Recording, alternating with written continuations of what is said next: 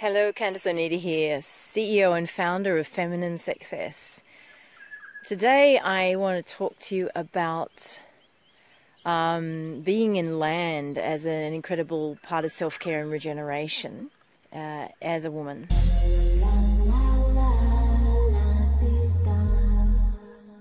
And the reason that being on land, like really beautiful land, like I'm on at the moment, I'm here in the uh, outback of Australia, um, is that uh, we have this opportunity to have a lot of, firstly, we have this space around you, right?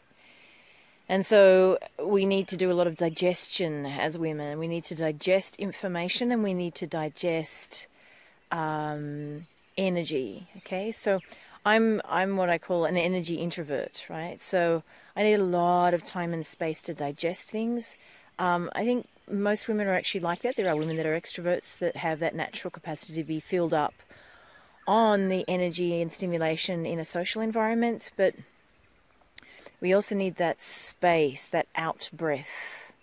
Okay, you can no more go through life just breathing in than you can, right? So we have to, we breathe in, so we ingest information, we ingest life, communication, that kind of thing.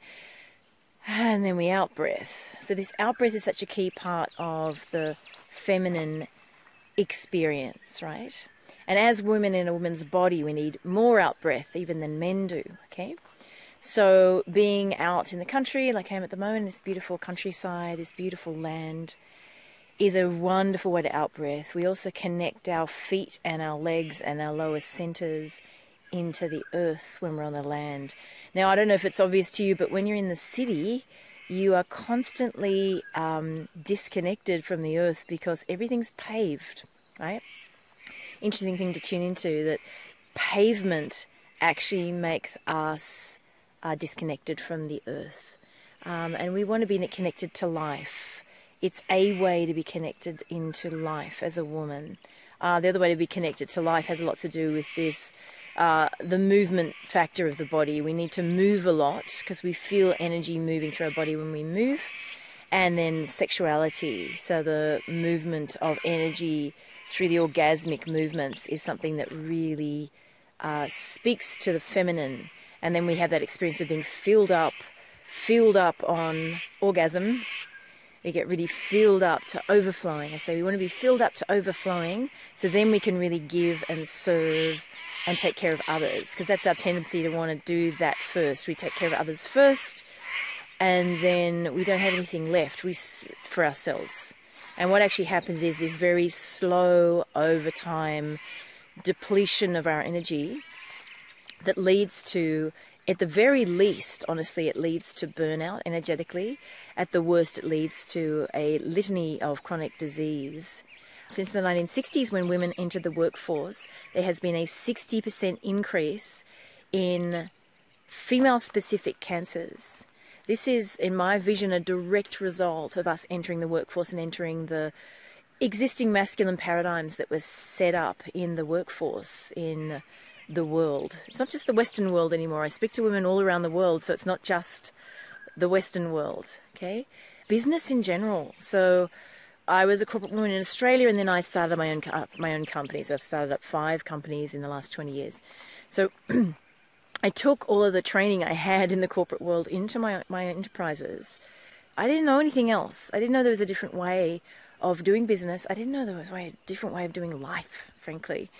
And so, and there were no role models. And so I discovered different ways to do life. And it was basically like, what's missing? I kept I kept asking this question, what's missing? And the missing piece was the feminine, okay?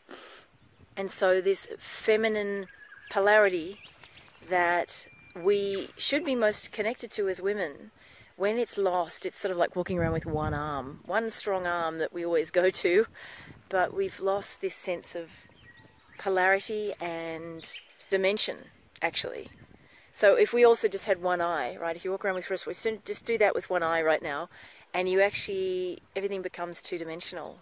And so when we have two eyes, we actually get dimension. We literally sort of see perspective and dimension. Um, and that's such an important part of our existence. But literally, when you're out of touch with the feminine, you really lose perspective. And perspective is really important for when we're making long term vision, we're putting our vision into the future, right?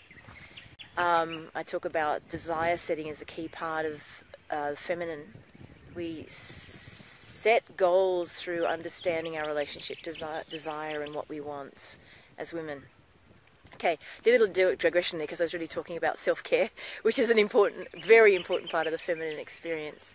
So I'm here on this beautiful land. I highly recommend you make time, especially if you live in a major city, to get out into the countryside. Just walk, you know, sleep a lot, rest, read, regenerate. I don't know about you, but basically when I do that, I just get these incredibly creative downloads about my life, my business, um, you can be by yourself or you can be with groups of people. I'm here with a group of meditators at the moment. I'm about to start a 10 day meditation retreat. And then I have a lot of interaction with like minded people who give me inspiration. It's been a really wonderful time. So, if you like the video today, I'd love a thumbs up or a thumbs down, whatever. Just interact. I'd love to get your comments below. And if you could put below today, just what's your favorite way to regenerate your energy? Um, just put some comments below. I'd love to hear that. And when you have the courage to go out there and shine, you give others permission to do the same. So let's go out there and shine this week. Bye for now.